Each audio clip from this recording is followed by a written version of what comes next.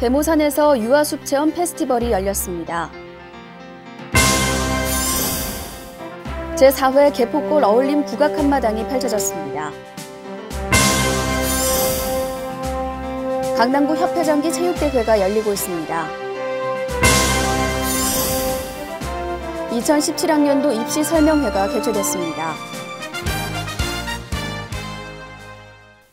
여러분 안녕하십니까? 10월 셋째 주 강남구 주간 뉴스입니다.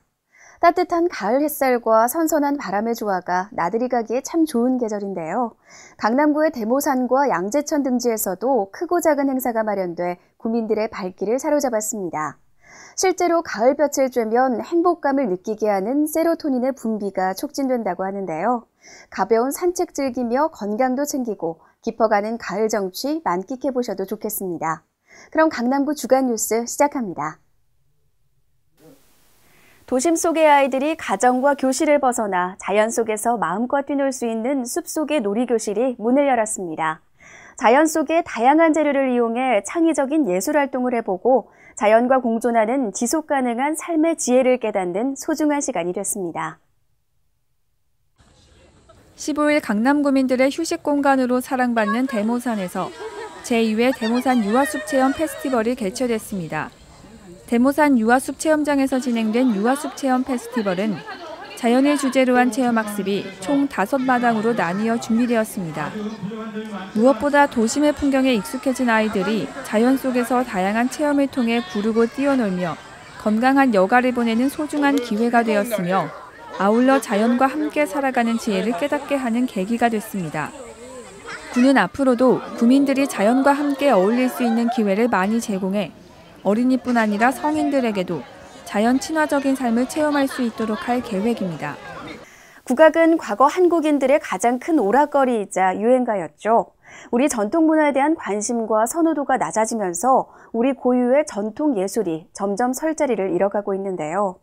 강남구에서 맛깔나는 국악 공연을 만나볼 수 있는 축제가 펼쳐졌습니다.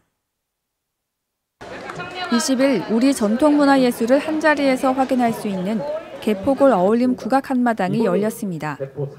밀밀히 도당제로 포문을 연 어울림 국악 한마당은 주민과 함께하는 마을 순례로 이어졌으며 뒤이어 관내 초중고교 및 국악고교, 관내 예술단체들이 준비한 구수한 국악 공연으로 마무리됐습니다. 현장에 모인 구민들은 우리 전통음악 속 가득한 특유의 흥을 만끽하며 모두가 하나 되어 즐거운 시간을 보냈습니다. 세계가 인정한 유려한 우리 문화가 시간이 지나가면서 잊혀져 가는 것이 아쉬운 요즘 앞으로도 우리 문화가 계속 사랑받을 수 있도록 더 많은 이들이 전통 문화에 대해 많은 관심을 기울여 주셨으면 하는 바람입니다. 청명한 가을날 강남구 곳곳에서 주말마다 다양한 체육대회가 열리고 있습니다. 보약과도 같다는 가을 햇볕을 쬐며 건강관리를 할 수 있을 뿐 아니라 정정당당한 스포츠 정신을 보여주며 생활 스포츠 발전에 기여하고 있습니다. 화창한 날씨가 이어지고 있는 가운데 강남구 곳곳에서 다양한 종목의 체육대회가 열리고 있습니다. 지난 15일에는 테니스와 농구 대회가 열렸으며 다음 날인 16일에는 검도와 족구 대회가 각각 개최됐습니다. 건강도 지킬 수 있고 삶에 활력을 더해주는 생활체육 대회를 맞이해 구민들은 그동안 단련해왔던 솜씨를 마음껏 뽐냈습니다. 군은 앞으로도 다양한 생활체육을 지원해 구민들의 건강뿐 아니라 사회 전면에 정정당당한 스포츠 정신을 널리 알리겠다는 계획입니다. 해가 갈수록 복잡해지는 대학 입시 전형 앞에서 수험생들과 학부모들은 우왕좌왕하기 쉬운데요.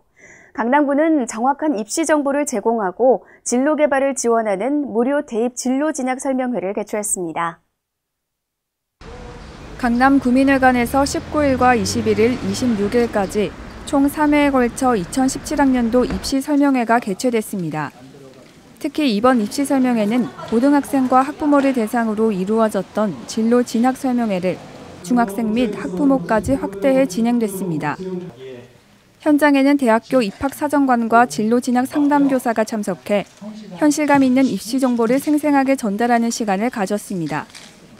해가 갈수록 복잡해지는 입시 정보. 군은 앞으로도 수험생과 학부모들을 위해 가장 빠르고 정확한 입시 정보를 전달하기 위해서 다방면으로 지원하겠다는 방침입니다. 이어서 주요 단신입니다. 환경보호와 나눔을 실천하는 강남 에코나눔 장터가 15일 구청 작은 주차장에서 열렸습니다. 이날 재활용 시연 행사인 소품 체험 장터를 비롯해 평소 사용하지 않는 책, 가방, 신발 등을 구민들이 직접 벼룩시장에서 판매해 눈길을 끌었습니다. 건강하고 착한 소비를 통해 구민들이 환경에 대해 생각해 볼 수 있는 시간이 됐습니다. 15일 강남 구민회관 대강당에서 뇌전증의 날 행사가 마련됐습니다. 뇌전증 환자들의 치료 향상과 사회 인식 개선을 위해 대한뇌전증 학회에서 마련한 행사로 전국의 뇌전증 환자들과 뇌전증 명의들이 만나 함께했습니다. 1부 희망음악회, 2부 최신 치료 방법 소개에 이어 3부에서는 뇌전증의 사회적 문제에 대해 논의하고 그 해법을 강구했습니다.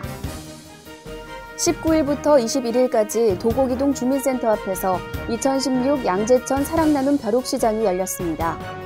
도곡이동 주민자치위원회 등의 직능 단체의 참여로 진행된 이번 벼룩시장에는 수백 명의 내방객들이 중고물품을 판매 교환하고 다양한 먹거리를 즐겼습니다. 또한 문화예술 공연을 선보이며 흥겨운 자리가 됐습니다. 이번 양재천 사랑나눔 벼룩시장의 판매 수익금은 어려운 이웃을 돕는 데 사용될 예정입니다. 영동대로 지하공간 통합개발의 조기 착공을 위해 현대차 GBC 영동대로 통합개발 자문단의 회의가 개최됐습니다. 17일 구청 공간 회의실에서 강남구 관계자와 관련 전문가 및 주민 대표들이 참석한 가운데 현대차 GBC 환경 영향 평가서에 대한 보고가 이루어졌습니다. 이어 평가서에 대한 전문가의 자문을 받고 의견을 나누는 시간을 가졌습니다.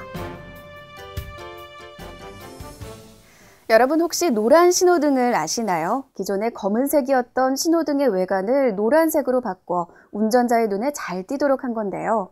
강남구는 서울시 자치구 중 최초로 노란 신호등을 설치해 어린이 교통사고를 예방하고 운전자의 안전운행을 유도하고자 합니다. 하지만 무엇보다도 가장 중요한 것은 이외 지역에서도 스쿨존에서는 30km 이하로 서행하고 불법 주정차를 금지하는 운전자의 습관이겠죠. 이상으로 강남구 주간 뉴스를 마치겠습니다. 고맙습니다.